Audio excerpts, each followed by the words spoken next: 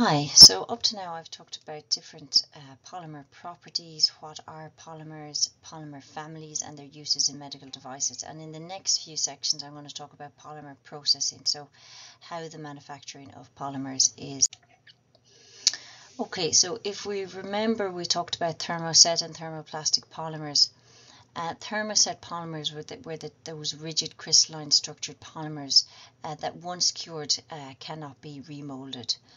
Uh, thermoplastics then on the other hand uh, was that spaghetti analogy I gave you of, of intertwining uh, polymer strands and it can be molded repeatedly so it can be reheated and remolded repeatedly by compression molding, extrusion, injection molding and we'll go through all of those in the next few slides. They can be formed into fibres, tubing or films by extrusion uh, followed by drawing or rolling to improve properties such as strength. So depending on the type of polymer you have, it's going to dictate the processing technique that you can do. Uh, thermosets, um, pretty much curing and, and, and compression molding are the only types where thermoplastics there are more options available.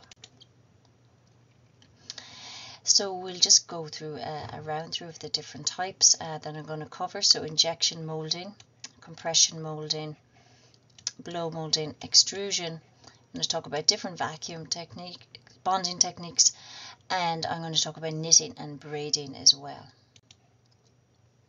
So injection molding, the types of things that are injection molded, if anyone has uh, experience of these little toy soldiers um, or Lego pieces, which I just spoke about briefly already, and you might see a little notch at the end. That's a good sign that it's been injection molded. So that's where the plastic has been pulled away from the mold.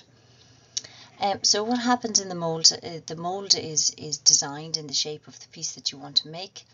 Uh, the polymer then is fed into the injection mold device. It's heated to a melt temperature in a chamber or barrel which contains a screw.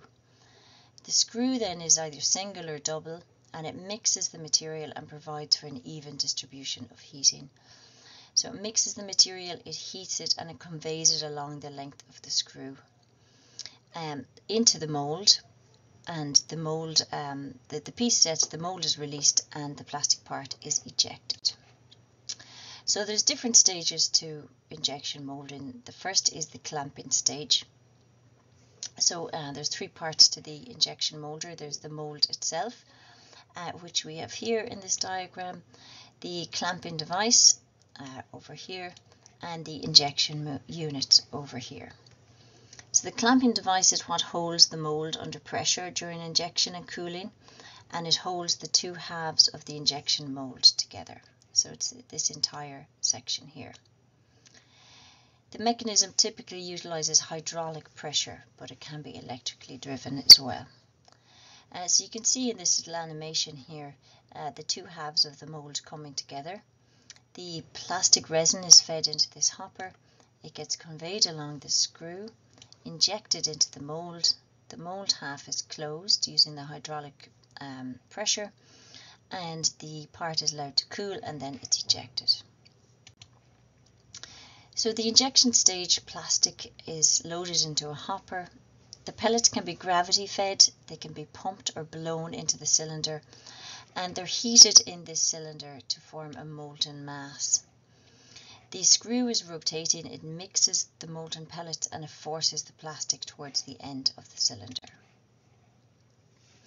At the injection phase, um, the material is accumulated in front of the, the screw and injection begins. So molten plastic is injected into the mold cavities while the pressure and speed rate are controlled by the screw. So it's all very controlled there's some sprue flash material which is waste and this is removed later in the process and this occurs around here. So the next is the dwelling phase. So the, the plastic at this stage is in the mold, it dwells and then it cools. It is allowed cool to its solid form within the mold. Then the mold opens, which you can see in the animation here, and the two halves are separated and the piece is ejected. So there are some very important processing parameters in injection molding. The temperature that the screw is at, the pressure, the material type, so some materials will, will, will melt quicker or convey faster than others, um, and this will dictate the time. There can be multi-cavity molds versus single cavity tools, so the example previous was a, a multi-cavity mold. The mold might be very complex, might need a longer dwelling and cooling time. Uh, cost is an important processing parameter, and shrinkage of the plastic being cooled also needs to be considered. So if we look at some medical devices that are manufactured using injection molding, um, some simple examples would be intraocular lenses, contact lenses, heart valves, knee joints, so certain parts of the knee joint, the tibial plate, ear parts, syringes and connectors. And I've just in the next few slides given um, a, little bit more detail on um, the injection molding. So I'll just zone in on this particular slide here. Along the length of the screw there are three zones. There is what is called a feed zone, a compression zone and a metering zone. So in the feed zone here, this is where the polymer enters into the screw and barrel. Uh, the screw threads are widely spaced and there is a um, space between the rotating screw and the barrel uh, for a lot of polymer to, to come in and be fed into the barrel. So this is called the feed zone. Then it enters the compression zone and here the, the diameter of the screw is increasing leaving less space between the screw and the barrel wall. So the, the polymer starts to get compressed which introduces pressure and it helps the melting process and it helps mixing. And in the metering zone then uh, you have a further decrease in space between the screw and the barrel. Um, they're small uniform threads and they allow um, very homogeneous mixing of the sample and increased pressure to push it out into the mold. Um, so this is a nice diagram of the injection molding, uh, looking at all the different parts of it. So to finish up, we'll have a look at some devices. Um, so typically, if you see these sort of connectors on um, on a catheter tubing, they would be injection molded. So uh, reasonably simple, but there is some intricacy in the design there.